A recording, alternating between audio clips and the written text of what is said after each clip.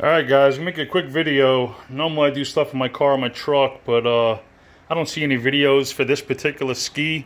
This is a 2010 um, GTX 155. It's not the turbo. Um, doing a shaft upgrade and everything on this thing.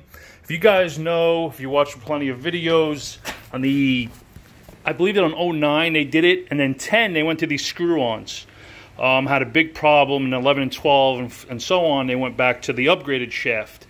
I have most of the parts, or really everything's installed, so hopefully you know what I'm talking about. But anyway, I want to show you a quick trick. Um, yeah, you could buy the tool for $200. I think it was 150 and use it for 25 minutes. But anyway, this is the old shaft, but I'm glad I did the upgrade because I found that. So it's probably out, out of balance and it'll probably be done by the end of the summer.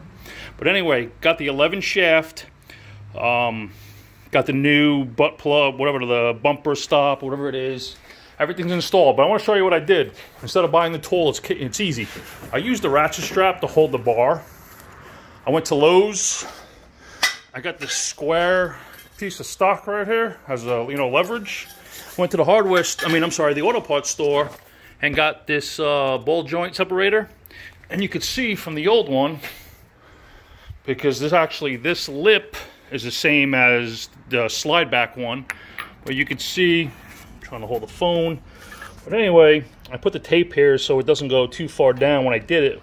But you can see basically what I did. What I did was I drilled a little hole here. I got some rod. Um, I don't know where it went to.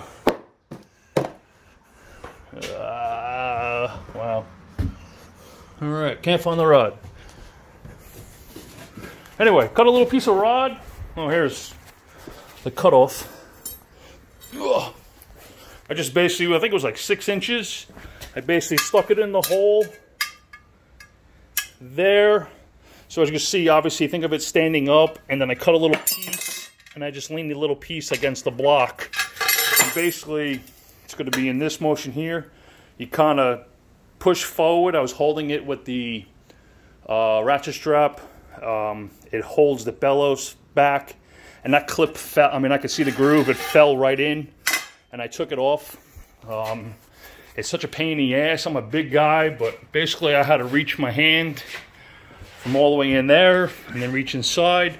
And then what I did was, because you don't want your shaft to move, basically took this plastic tube and again, this is a cell phone, so sorry. Anyway, I got it pretty much centered. I have it sitting on a box. I have all my hardware here.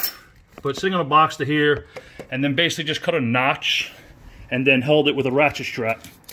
And I'll show you that in a second here, because it's done. So basically what I did was, I drilled a carriage bolt, put a carriage bolt through, shoved a shitload of paper towels in there so it doesn't mess up the shaft. And as you can see, try to move it here, sucker's in. If that clip wasn't right, I think it'll come right out. But anyway, just a quick video. I hope that helps you guys out. Got any questions? I'm not a jet ski professional. I work on cars, but um, they were gonna charge me $300. The guy actually had my ski for three weeks. I picked it up and I got a total of I don't know, two hours into it right now. And maybe $20 of hardware from Lowe's that, I mean, I can't bring it back, but oh well. It's better than buying a tool that you're going to use one time. Anyway, talk to you later. Bye.